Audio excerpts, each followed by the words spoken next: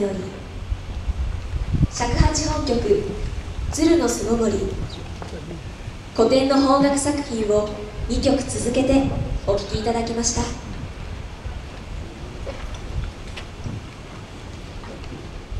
えー、皆様こんばんは、えー、福原徹でございます、えー、今日はまたお天気にも恵まれまして、え大勢のお客様にお見えいただきまして誠にありがとうございます、え最初に、えこちらの太鼓橋で吹かせていただいてから、え通算で今日が24回目になります、えちなみにお客様の中で今日初めて春章の響きにいらっしゃる方というのは、えー、どれぐらいいらっしゃるんでしょうか？ちょっと拍手をしていただけますでしょうか？あたくさん喋ってございます、えー、時々あのいろんな方にお目にかかって、え、叱られるのですが、えー、そんなうちの近所でそんなことやってるって全然知らなかったっていうこちらのお近くにお住まいの方からも叱られる時があります、えー今日お見えになった方で初めての方はもしかしたらそういう方もいらっしゃるのかもしれません、えー、では今日2回目という方どれぐらいいらっしゃるのでしょうか。拍手をお願いいたします。あたくさんいらっしゃる。ありがとうございます、えー、ではそうですね。もう何回も来てるっていう方お願いいたします。あすごい。嬉しいです。これはいらっしゃらないです第1回からずっといらしてるっていう方いらっしゃいますでしょうか？もしいらっしゃいましたら。あ結構いらありがとうございます、えー、最初はもう本当に23年前でございますからもう本当にちょっと大昔という感じなんですが、えー、毎年こちらで演奏させていただきまして、えー、雨のこともございましたけれどもここ数年はずっとお天気に恵まれてここで演奏しております、えー、今回は、えー、能楽師の小早川治さん小早川康樹さんそれから、えー、尺八の善陽寺圭介さんピアノの中川敏夫さんそしてお囃子の福原百之助さん当社清子さん望月田佐野さんそして笛がえ福原百隆さん福原里香さんそして私。以上10名でいろいろなジャンルのいろいろなものを聞いていただいております。次は皆様がよくご存知の曲を5曲メドレーで演奏させていただきます。何を演奏するかは演奏の後に司会の方からお話をしていただきますけれども、多分皆様よくご存知の曲ばかりだと思います、えー、楽器の演奏者の皆様支度は大体よろしいでしょうか？こちらからだと全然真っ暗で見えないんですが、えー、支度のできた人は音を出してください。